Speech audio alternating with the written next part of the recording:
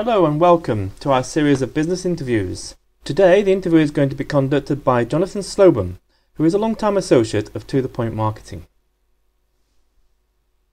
So today we're on home territory. We're actually in Windsor. So our office is in Windsor, and we're speaking to a local businessman and entrepreneur, Andrew Try. Welcome, Andrew. Thank you very much.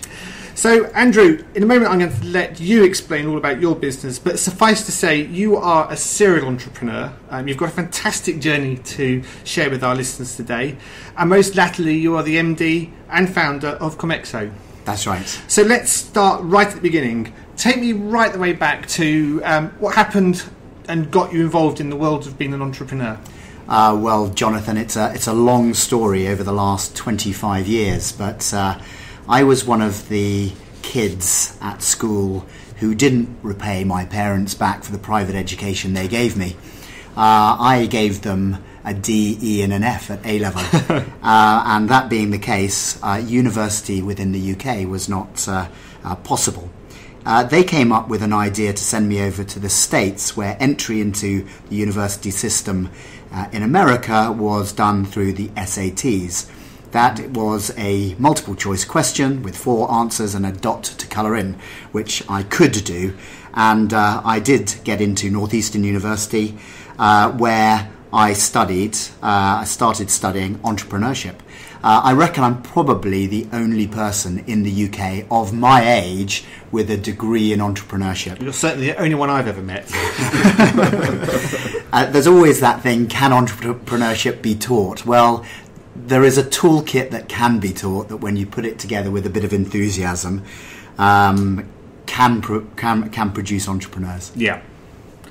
So, um, what did you learn at university that actually um, inspired you to go on to actually be an entrepreneur rather than just be a student of entrepreneurship? Well, uh, I always wanted to be uh, an entrepreneur. I come from a family of entrepreneurs uh, in Windsor, uh, Windsorian coaches, uh, which uh, you still see today and holds the royal warrant for shipping people around in the back of a coach was started by my grandfather in 1918. Wow.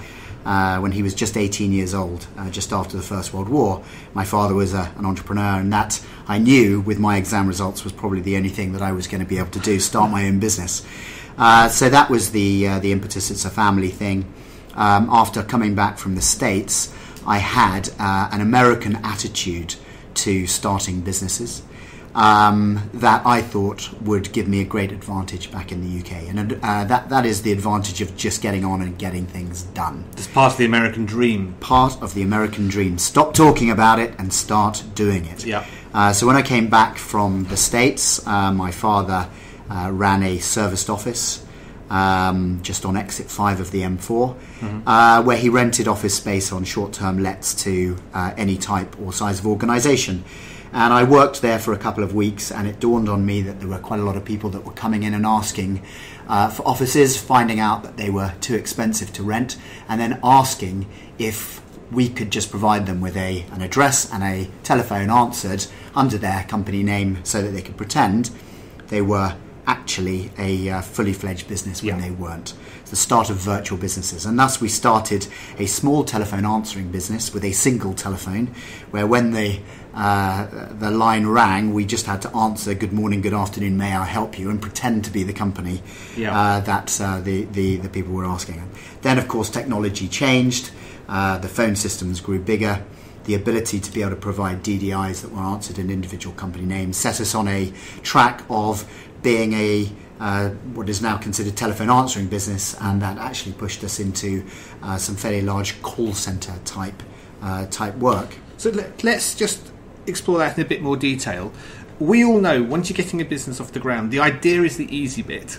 Getting customers and those first customers is the hardest task of all. What did you do to get those customers? Well, in those days, before the internet, I used the Yellow Pages, and uh, we advertised uh, a lot in the Yellow Pages. We also did a lot of local work um, around the local uh, chambers of commerce, entrepreneurs clubs, biz, small business clubs, uh, to go and meet organisations, small businesses, start-up businesses that needed those types of services. And did you feel that was your sweet spot for the type of customer, or were you just broadly just going as anywhere you could possibly find. Well, as you do in, you just go anywhere that you can possibly find. But we found that we grew quite rapidly into what, as I said, was call center business that Yeah. actually we're not in now. Um, around the fact that we employed uh, Windsor-based ladies answering the phone with a particular accent. Yeah. So uh, we ended up doing. Uh, all the calls for Waitrose Flowers Direct, for instance, uh, because they wanted a middle class accent answering the phone. uh, that's what they started wanting and were happy to pay the money for, but eventually that got uh, moved down to Cornwall and, and finally offshored uh, to Singapore, I think. Um, and that's when the, the call centre market started pushing everything offshore, and we realised that our value uh, um, proposition resonated with uh, more city based firms that wanted a uh, first class, five star uh, first point of contact for their phones. And that shifted us out of the call centre market, uh, which was going down to the lowest common denominator, up into the switchboard market, which was a true brand pro- pro- you know, positioning for an organisation. Okay, right. We're going to come back to that point because, I, but what I'd like to explore a bit more is about your journey Mm-hmm. because I know it wasn't quite so simple as um, straight out of early call centres and into this upmarket um, proposition you've now got. Mm-hmm. What opportunities and projects did you um, come across on, on that journey? Jonathan, I did uh, everything. I started business after business. Um, I had a paintball war games company. Um, I got into uh, producing, manufacturing watches and stuffed toys out of China in the early 90s. Um, I had computer software companies. Um, I did lots of everything. And then as an entrepreneur, uh, trying to make some money, I, I leapt at any opportunity that presented itself. I built some fairly large businesses, but could never focus long enough to build anything truly substantial. Okay. Uh, something I, I learnt to do uh, at a latter date. Okay, so what started to stimulate you to actually really start to focus your thinking and your resources around one opportunity? Um, apart from lots of people telling me to do so, uh, um, it, it, it became clear that um, we had a very good value proposition in our marketplace. So all along the way, you're experimenting with these other opportunities, but you still had the contact centre running in the background. Yeah, the, the switchboard, uh, the little switchboard business almost enabled me to have other businesses because Okay. whenever I started one, I could set up a telephone number and answer under that company name. Yes. Uh, so it gave me a huge amount of flexibility. Um, and that business kept on, just kept on running and kept on doing with no focus and no investment and no strategy. It just kept building and building. And all the other businesses uh, came and went. Um, some of them I, I, I- I made loads of money, uh, some of them I lost lots of Yeah. money. Uh, but underneath it all, at the end of the day, the switchboard business was still there and was still growing. And it was that realization that if I actually focused all of my attention and my energies into uh, building that, I could probably have more fun, uh, more stability, um, and probably grow a more substantial business. Okay, so how long ago were we talking about when you started to hone your resources? Uh, about uh, 13, 14 years ago. Okay. Um, and that happened because uh, the the internet age was uh, was upon us. The dot com boom was just starting, and one of our customers was an internet telephony company. In fact, the first company to enable you to create telephone calls, not over voice over the internet, but create telephone calls from an internet based web page. And, Yeah. and I saw it and got very enthusiastic and thought that if we bolted that capability and technology into our switchboard offering, we could provide a range of services for uh, larger sta- scale corporates. Um, and that's when I uh, went out and raised uh, some money to put the two businesses together. Uh, and it was clear once outside investors had come in that my obligation to them was to focus solely on building that business. Okay, okay. So at this point, Waitrose has moved on, but you now getting a confidence that there is an opportunity for the premium services, where did you start to go and get those customers from? Where did you? How did you start to actually focus your thinking around a particular opportunity? What was was what was that opportunity? Well, um, in fact, once we had raised some money, we were we were pushed by our investors to to spend it as quickly as possible, which is what you did in 1999. Um, and we focused more on the technology we brought in uh, and trying to sell that into an existing client base than we did on the value proposition. And once again, I would say that that took us on a an unfocused journey um, around a technology set that was too ahead of its time in certain areas and not developed well enough in others to sustain the, uh, the, the requirements of the businesses that we had. That um, another four, three or four years went by before I actually saw that the uh, the focus around the technology and people putting that together was the real way forward. Mm. Um, so, yeah, yeah it, it, wasn't obvious. Um, no. Uh, and again, that, that that sort of focus in the business of what the, the value proposition today took an enormous amount of evolution to, to come to. And I'm not talking about even our our uh, product or our, our value proposition, but just in terms of the marketplace moving yes. on to appreciate it. Yes absolutely. So now you, you are clearly very focused. Um, what, what's the business actually doing today? Who are your target markets, and how do you intend to grow out of this? So the business today is what I describe as 21st century switchboard and uh, business concierge services. Mm-hmm. And what we provide for specifically the uh, professional service sector, and even more specifically the legal sector, mm-hmm. is a 24 hour uh, provision of five star first point of contact switchboard services mm. that protect our customers' brands 24 hours a day, seven days a week, such that when a potential or existing customer wants to get hold of somebody within what is now complex, distributed, global workforces, they can do so through a single telephone number mm. at any time of day and get somebody knowledgeable capable, professional, and charming mm. to be able to take that call and then take it into the complex organization and deliver it to the right person first time every time. Okay. And on the concierge services, we provide a range of, again, 24 hour business concierge services that enable people within an organization to to get stuff done. So rather than have to book their own taxi, set up their own voice conference call, um, using Skype or something like that. Mm. Uh, find out who their travel management company is. Uh, call their caterer because they forgot to order the sandwiches for Monday morning's meeting. Mm. They simply press a button on a smartphone app anywhere in the world. They'll come through to us. We will know who they are. We will know where they are. We'll have access to their page of details of what the normal services that they use, and we can get the stuff done for them. So I'm going to pick up on one word you said in there, which is global.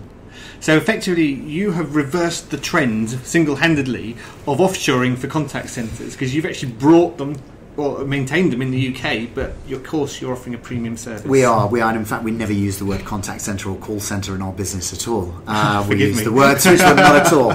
Um, but but uh, actually, at this at this very moment, we are hiring um, our first German and French speakers such that in the new year we will be rolling out to our existing client base um, French and German speaking switchboard provision for their French and German offices. So not only are we reshoring back to the UK, but we are starting to offshore from Europe, and we are currently, for one customer, we are scoping Mandarin speakers. Wow. So we will bring it back from China to the UK. so let's thinking about these people and the modern world, they're obviously going to be highly connected. They don't just carry one single device, and, and it's no longer the luxury of one phone on a desk.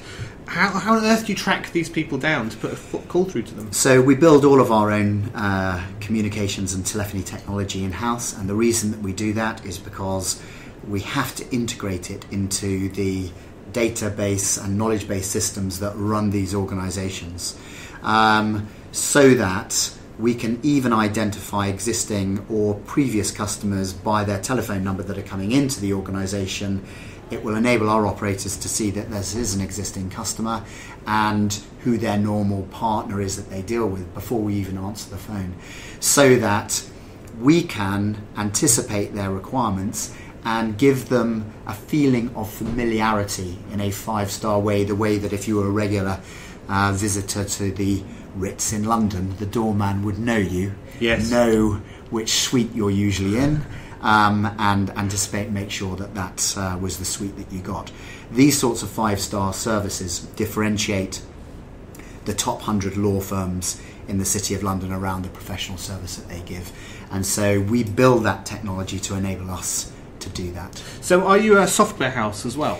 Uh, we are a uh, what I would call a software architecture house. So we do all proof of concept, we do all architecture in house, and then we send out the uh, the code writing to Eastern Europe. So, can that be purchased by others? No, uh, it's specifically for our customers. We don't white label it. We don't sell it on to anybody else. And the reason, again, we do that is because we want to differentiate ourselves in our marketplace and just provide almost a boutique. We, we, we, we talk these days, just recently, as a sort of atelier service for our client base, providing uh, technologies and services specifically for them. So it's as focused as you can It really is. It's music to our ears, absolutely. So, look, Andrew, um, the impression we're giving the listeners is that it's just been this wonderful, smooth journey of bit of experimentation, being a proper entrepreneur with lovely, steady growth into this fantastic business you've got t- today. We all know that's not the truth of the matter. What were the challenges that you faced on your journey, and more particularly, how did you overcome them? Well, yeah, Jonathan, you're right. Uh, your listeners can't see is that I am very grey and and balding, uh, and uh, and that is because, of course, as an entrepreneur, I have uh, been out on the battlefield as a small business, trying to uh, build organically rather than um, you know uh, build through equity or, or partnership or uh, joint venture, and it is that it is a hard route. Yeah. Um, I have stories as lists as long as your arm in terms of um, all the things that have got in the way. Uh, I remember one Christmas coming back after Christmas to find out that our telephone systems had been hacked, and in four days, £100,000 worth of call charges had been racked up. Sure. Um, on that particular one, we closed down the business, transferred all of our clients out, negotiated with the telephone company, and presented them with a empty shell six months later for them to sue. Um, on another occasion, uh, when I was doing stuffed toys and watches out of China, I had employed a very bad bookkeeper who had got our VAT wrong, and I had a knock on the door from the VAT men who told me I'd defrauded them of eighty thousand pounds. I was 26 years old, didn't think I had done, but they, uh, they, they took me through sort of a, a process that proved that I had. Um, and I almost got banged up in, in jail. Uh, um, just recently, in the last in the last three months, uh, we have lost suddenly through no fault of our own one of our largest customers. Uh, that was underpinning a, a, a, large part of the profit of the business um, because of an edict from their US office that they needed to have a single supplier for uh, voice conference calling. We provided super secure voice conference calling for them, and so we've lost a large amount of business. And what you do in all of these uh, cases is you simply roll up your sleeves, you refocus, you focus on the things that you are good at, you focus on the things that you make margin out of, rather than things that, that, that drive revenue. Uh, So can you- I just put an interpretation on that, which I've heard in other um, podcasts we've done, that margin is absolutely critical, but more so than that, it drives the cash flow. Yeah. And there's a lot of successful, established businesses that have that huge critical focus. success factor uh, collect your money don't let your partners no matter what the size of them uh, you know not not pay you because cash flow at the end of the day drives your business not revenue um, and if you've got cash flow uh, you can actually run a business almost um, on a loss making uh, for, for, for quite for quite a, a, a long period of time Yes. but if you are making loads of revenue, and even if you're making profit and can't collect your cash, then I'm afraid you will lose your business. Yes. Uh, so we, we have a policy here where uh, we don't allow any of our customers, no matter how large they are, uh, pay over 45 days, and if they do, we turn off their service. Um, and we're bloody minded about it, and we teach them from day one that that's what we're going to do. Yeah. even if they think they are the biggest company. If they value their, the service, they won't go anywhere else. They'll respect you and they'll pay you uh, for uh, all times uh, on, on, on time. Yeah, absolutely. I mean, I can't emphasise that enough. How vitally important that is, um, because actually, I've heard it said that a customer is not a customer unless they're actually paying you, and too many people show us um, huge sales pipelines and number of contracts fulfilled, but actually the money is not necessarily following the work. Yeah, uh, uh, the the other thing that we like doing, we don't like doing here, but I always challenge my management team is that if the value of our service is as good as we say it is, yes. that we shouldn't be fearful of putting our prices up until our customers squeak. Yes. Um, and that's not to say to, uh, you know, because it's a small business, that's not to say to, to rip customers off, but tra- traditionally, or, or, you know, what, we, what, what small businesses tend to do is undervalue the service they give. They over service their customers they undercharge them, and then they get in a rut of a not putting up the prices every year when their cost base goes up Yep. every year, and not being bold enough to actually really test the value of the service for their customers. You know, by by putting up um, their prices more than inflation. and that's partly that confidence is built out of the fact that you understand your customers' needs. You are actually meeting those needs better than the available competition, and therefore they actually can't go somewhere else easily and get a similar, um, ultimately a better service. Absolutely, and and that uh, that they appreciate the the true value proposition, and that you've sold them the right thing. So in our marketplace, we are we have now focused on the top hundred because we do have a lag of customers that are from smaller law firms, but actually they don't buy us for the right reason. They buy us because of price and ease, and they shouldn't really be customers. And so, as our value proposition goes up the value chain, and we're getting some of the large ones, we we by putting our prices up are letting some of those other ones Yes. go, and we're pricing them out, which is, you know, our, so our product is finding its right place in the in, in, It's a in bold the, the move stack. and takes confidence, but it's the right move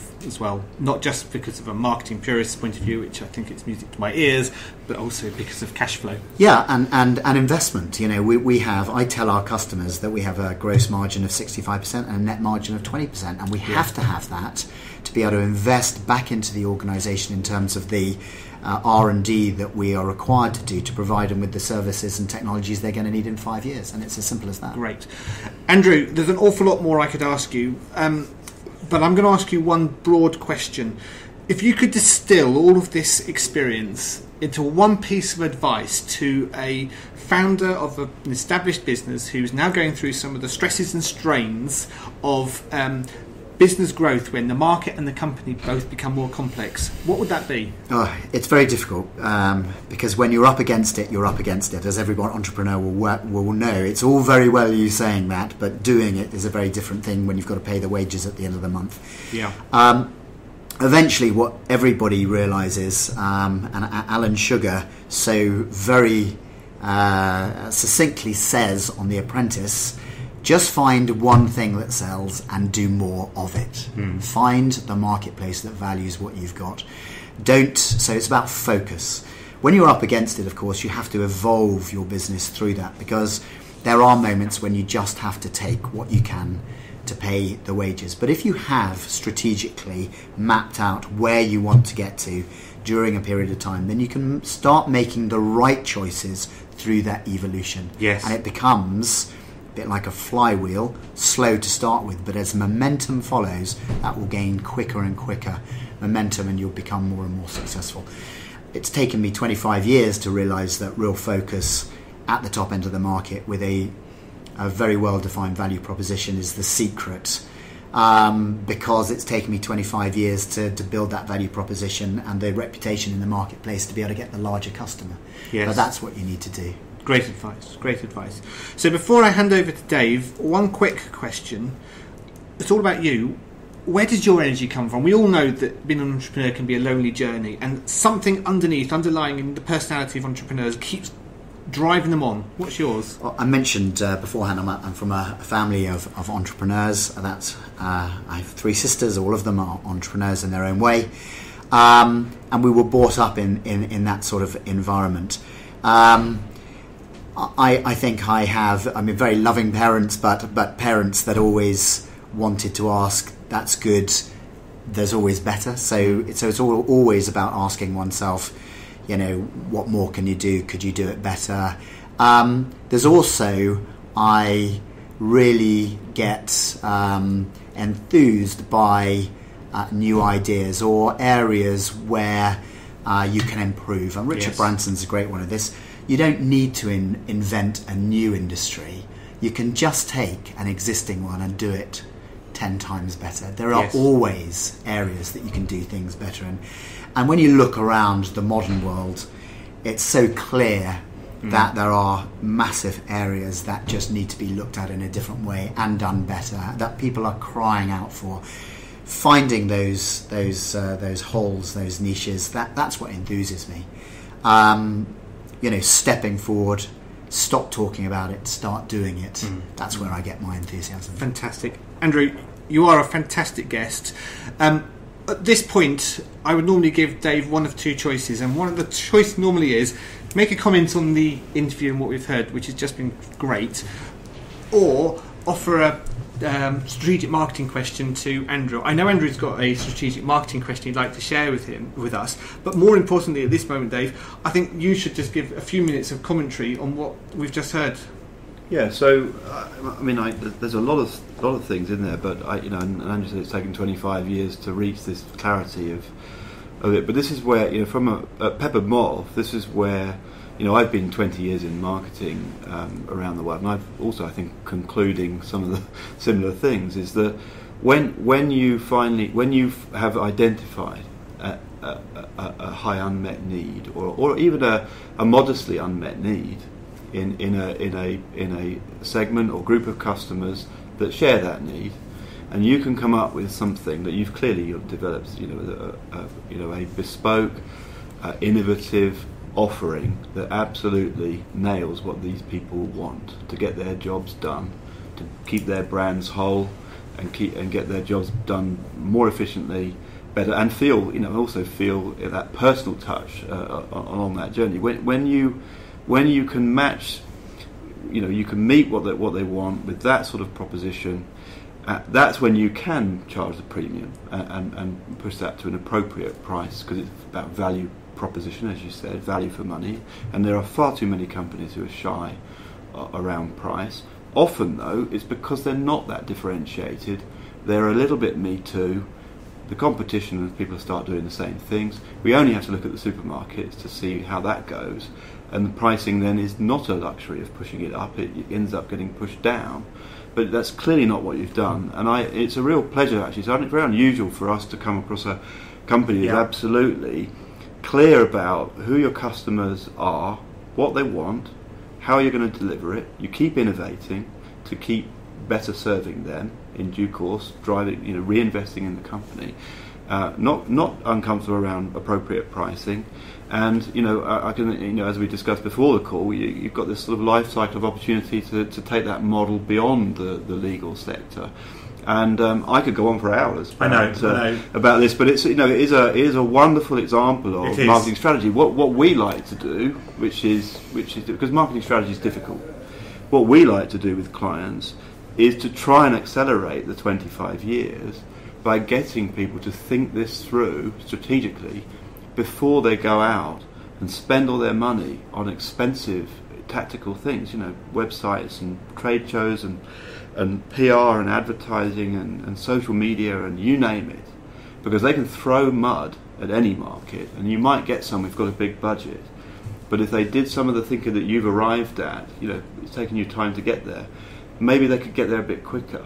And that's where we try to help people to think through those big decisions before they start investing. Absolutely. So, Andrew, what is this strategic marketing question you'd like to ask Dave? Well, uh, what, what I'd like to ask Dave is that we we uh, we provide services to forty of the top hundred law firms, um, but we we we often are uh, providing them in at an operational uh, level to a facilities director or an IT uh, director.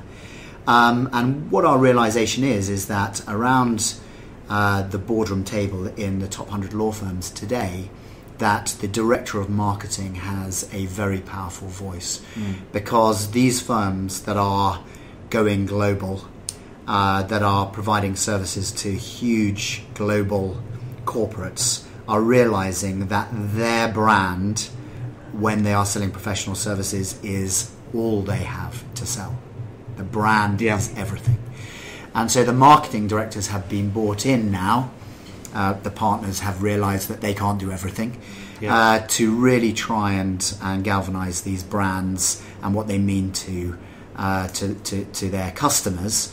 Uh, I uh, have ta- tasked my marketing team um, to put to create a campaign to get us in front of these marketing directors who are not traditionally our contacts within these organizations so that our brand proposition our value proposition can be delivered to the right person where it's going to resonate um, and have a voice at the boardroom table around the Yes. boardroom table and my question to you dave is um, if you were sitting in my chair how would you do that Yeah. So, and and we will give this some more thought after this podcast, you know, and, and maybe come back to you on, on a, sort of a broader answer. But my initial reaction to that, with with the brief thoughts, are you know, as in any marketing planning, is first seek to understand those customers.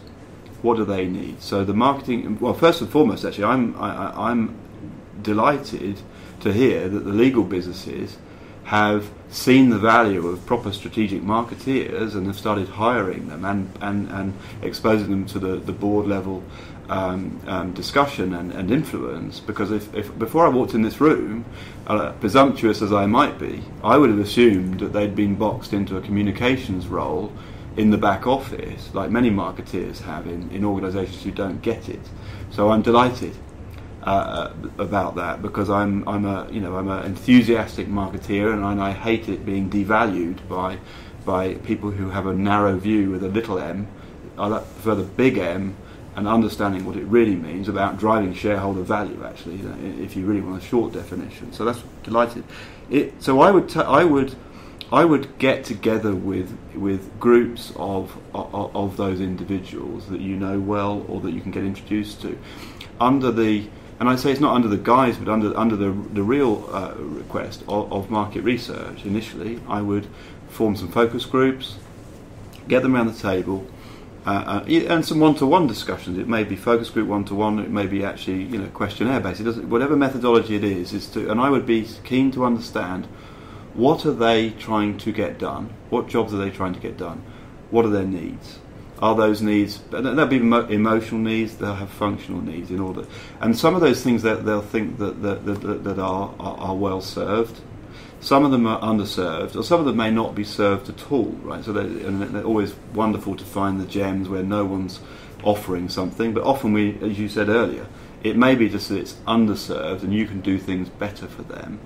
And, and once you understand their needs well, uh, you know, not least can you uh, sort of describe your current proposition to them and understand how that matches their needs today.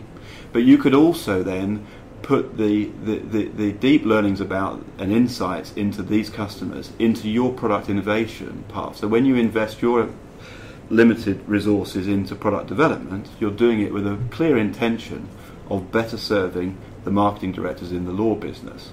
And, but, and clearly you'll come up with something that better nails, that, that, the, the, uh, meets their needs. Um, so that's a sort of a general process thing. But uh, you know, the, the other aspect of this, just thinking about it from as a marketeer, if I was in their role, irrespective of the type of business, is that they are bound sure, if they are disciplined marketeers, to be concerned about brand, to, to, to be concerned about brand equity. They're bound sure to be concerned about positioning, and I mean it in a purest sense of marketing posi- positioning. What, where does their firm occupy? Uh, where does it sit in the minds of their target segments, target customers, as a premium law firm in a specialty area, whatever they do? And and, and, and positioning, you know, we, positioning happens where the firms do nothing. It will happen. You will end up in the perception of, of your customers somewhere. But positioning is something you can influence, uh, and you can influence it through enlightened strategic actions, and they may be that you've defined the right messages, you're delivering them through the right channels.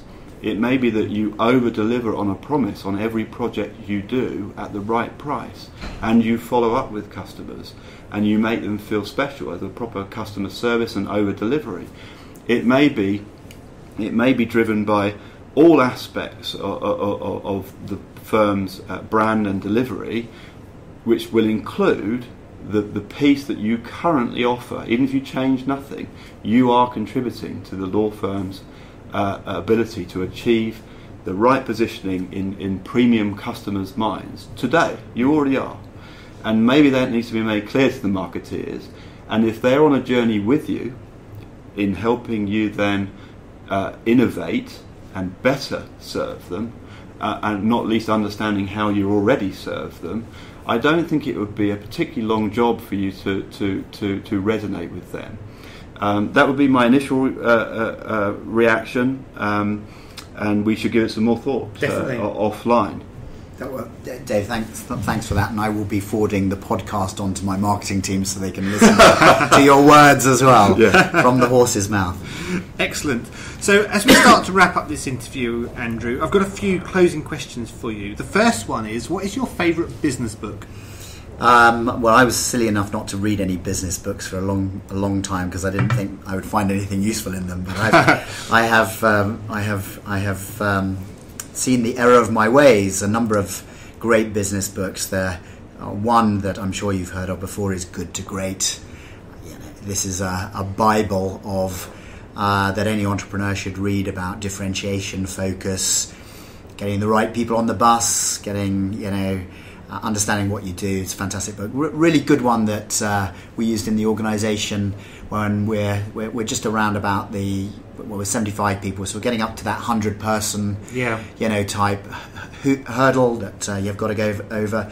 Um, was five dysfunctions of a team. I don't know if you've read that. No, I can't no. tell you who the author is. It's easily read in about an hour and a half. It's so brilliant, um, and if you give it to your team to read, everybody will find somebody in there they relate to. Fantastic. Um, so it's just it's just great, and it drives for us. It drove around for our management team um, some rules of engagement and honesty about how we should act as a team together. Very good. Um, very good. I would say that was those two. So, so what I'll do is in the show notes, and I'll actually reference Jim Collins. Jim Collins, Jim Collins. Yeah. Yeah. Yeah. yeah. So what I'll do in the show notes, I'll reference these books yep. um, so that people can actually find them if they want to read them. So next, we'd like to actually say thank you very much, and as a gesture of our thanks, make a donation to your favourite charity. Uh, well. Uh, charity very close to my heart is the Royal Windsor Rose and Horticultural Society, uh, charity in uh, Windsor uh, that uh, is all about creating a cohesive community around enjoyment of horticulture and food and crafting. It's 120 years old. The Queen is our patron. We have a very small number of, of members, but it's a, a really great small charity. Um, that, and I'm chairman of it. I should Fantastic. Great. So we'll make sure we, that happens. And again, I'll put Thank the link on the website. Thank you. you very much indeed. So, as we really draw to a close, how can our listeners actually get in contact with you and Comxo? Um, I have a blog under Andrew Try. Uh, if you just Google Andrew Try, uh, T R Y, you can find me, or Comxo, C O M X O. Um, my email address is andrew.try at comxo.com. And the phone number here if they want to call you? 01753 710 430. Excellent, excellent. So, um, a little bit of a plea now to our listeners. Um, we bring you these podcasts for free. There is no payment at all, as you know, and our currency is a social currency. Um, if you've enjoyed listening to the podcast today, please go to um, iTunes and make sure you subscribe. And better than that, if you could rate us or leave a comment, that would be wonderful because it helps spread the word and draw more people into listening to these interviews and allows us to go to potential guests and get them to come in and um, provide great uh, content for you to listen to. So, finally, Andrew, you have been a fantastic guest. It's been a brilliant interview. We're a little bit over time, but thank you very much for your time today. It's been great. Thank you. Thank you very much.